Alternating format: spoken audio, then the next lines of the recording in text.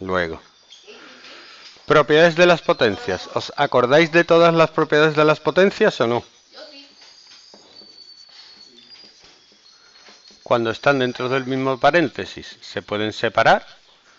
Cuando están dividiendo también se pueden separar. Cuando hay dos potencias de la misma base se pueden sumar los exponentes. Cuando hay dos potencias divididas de la misma base se restan los exponentes. Cuando hay una potencia elevada a otra potencia m por n. ¿Vale?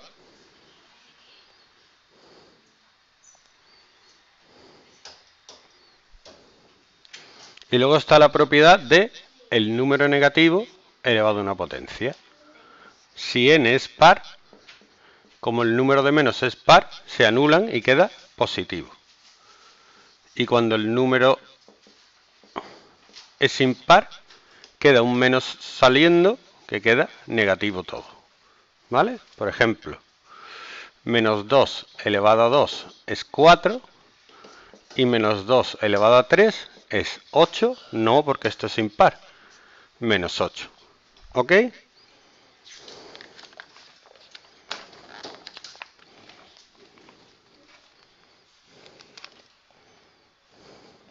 Y ahora ejercicios divertidos. Por ejemplo, a elevado a 4 por a elevado a 2 dividido a elevado a 3. ¿Cuánto es? Así mirando.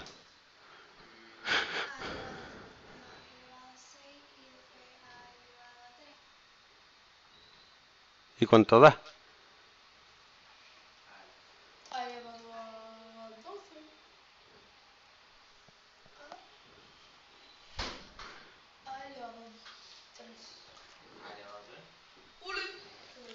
queda a elevado a 6 dividido a elevado a 3. Y luego se restan los exponentes 6 menos 3, 3. Menos 2 elevado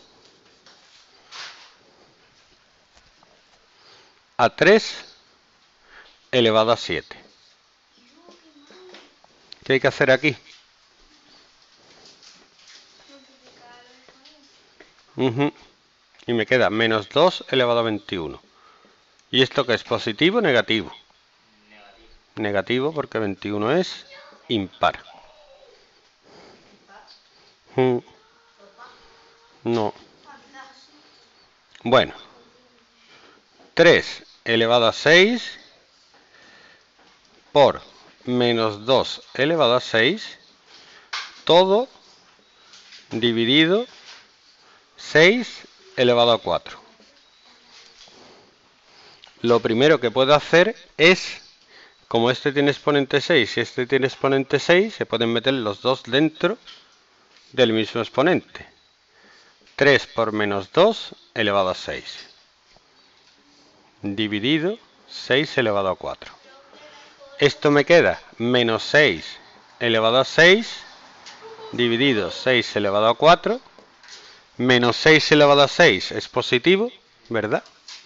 Puedo poner 6 elevado a 6 dividido 6 elevado a 4, que es 6 elevado a 2, que es 36.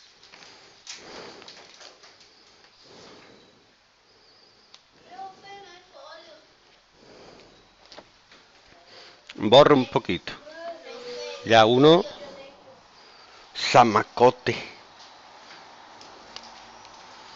Bueno. 36 elevado a 2 dividido, abro corchete.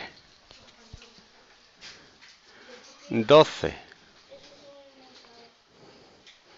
elevado a 3 dividido